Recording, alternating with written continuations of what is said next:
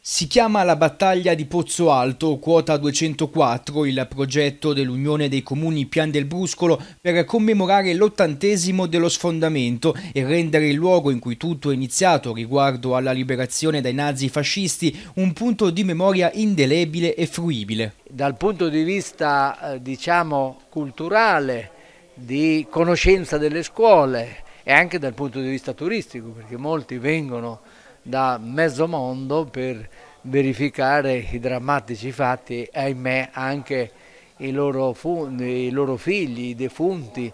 che ci sono stati, penso citando due cimiteri importanti, il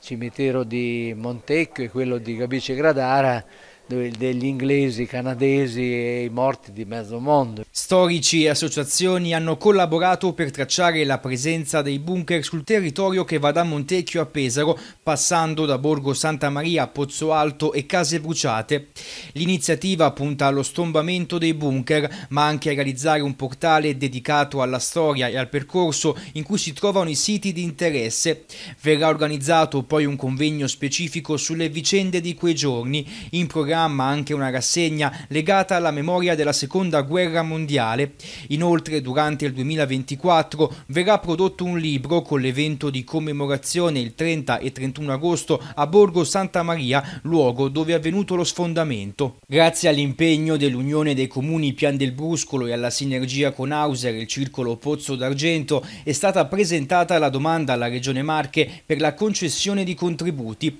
Il progetto è stato finanziato con il maggior punteggio e con un contributo di 15.000 euro su un progetto di circa 25.000 euro. È molto importante, questo è l'avvio di un finanziamento di 25.000 euro